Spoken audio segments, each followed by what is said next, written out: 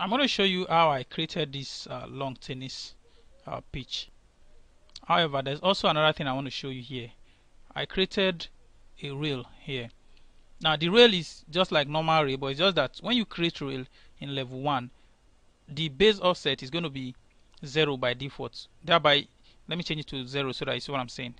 If it's 0, it will go down, you will not see it. So the only thing you need to do is just select it and change the base offset to 900 and apply so that it will come up. You know the reason is that at this top the top here is 1000 so it was hiding it. So that's just what I did there. Now the focal point on this topic is we want to create uh, a canopy in front of this place. To create the canopy now we are used to drawing our uh, we are used to drawing our mass object on top so we can select a different face now to draw our mass object.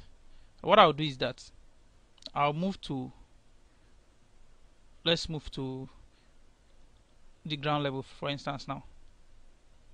Now I want to draw my mass object on this side which I will use mass in place. I'll make use of rectangle for instance now. I'll start from this side draw it and then let me select a wireframe so that I'll be seeing it. So my canopy will be will cover this area here. Then select it and click on create. Let's go to 3D view and see it. So it has come up. I'll select it I'll still raise it up this is not my canopy. I only want to use the face for my canopy.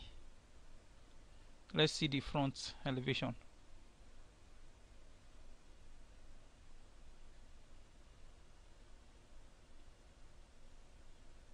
So now let's come to this side. Let's go to 2D wireframe. So I don't want it to be too high but it will be higher than the door let's take it up a little. If I like it like this then I'll click on finish. And let's go back to home. Come to this side change it to realistic so you see what I'm talking about. Now that I've succeeded in creating this uh, box now I want to use the face of this box to start drawing my canopy.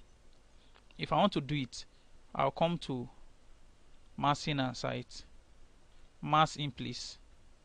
And say okay now I'll set my work plane. Click on this set. Now select the face here as my work plane such that if I want to do my drawing I can use that place.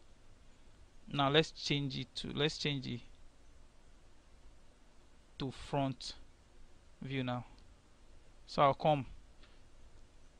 Let's still use that 2D wireframe. I'll draw a rectangle that I want to use let's draw it here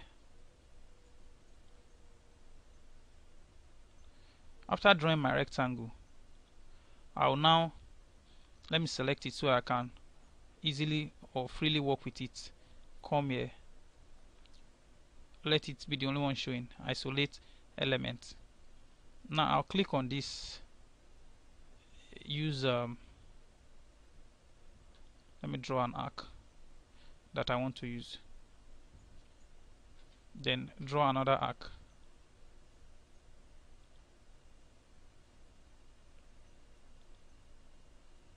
So let me select it and see. Now I want to do it in such a way that I'll have my canopy well drawn. I can decide to use just this or just this. Let's select and see what happens. So I have this one I select this one and see. Select this or select this. Okay now I've selected this one. Let me go to my 3d view. Reset to come to home. You see my canopy now. When I select it I'll create form. So my form has been my object has been created for me let's change the view. Now that I'm done with this I can remove it.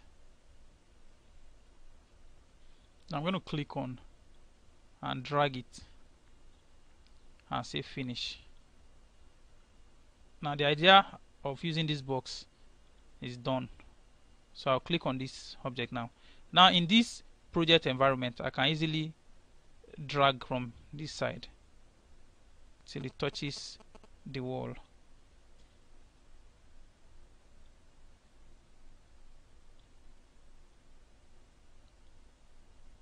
Then I can drag this side back. Drag it back. So I've added my canopy. The next thing to do is for me to just add leg to it. So I'll go to I can go to either okay let's go to level 1 and see. I can't find it in level 1 let's go to site. So I can see it here. Now let's let me see if I can work better here. Now now that I have it here I'll draw my I'll go back to uh, mass.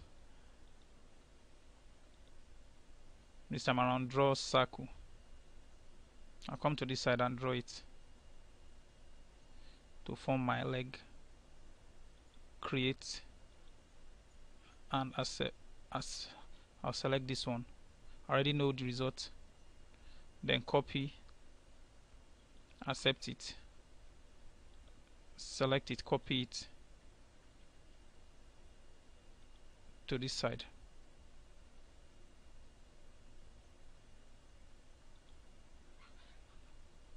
Then show in my 3d view uh, it's not showing. So let's let's look for it. If you cannot find it you can always see what you have drawn. Okay the height is so small. Select it drag it up. So it's not a, it's not a big deal it's not a problem. Do the same thing here. Drag it up. Now come to I think I should be able to see it better now so just to select it and drag it up.